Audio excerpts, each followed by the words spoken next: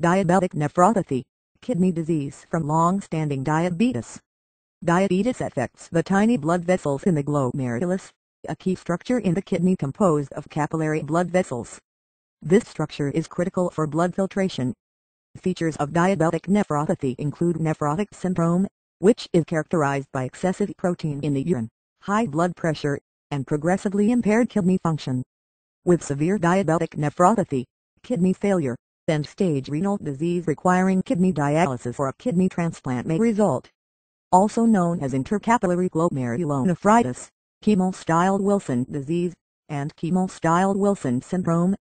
Diabetic nephropathy, kidney disease from long-standing diabetes. Diabetes affects the tiny blood vessels in the glomerulus, a key structure in the kidney composed of capillary blood vessels. This structure is critical for blood filtration.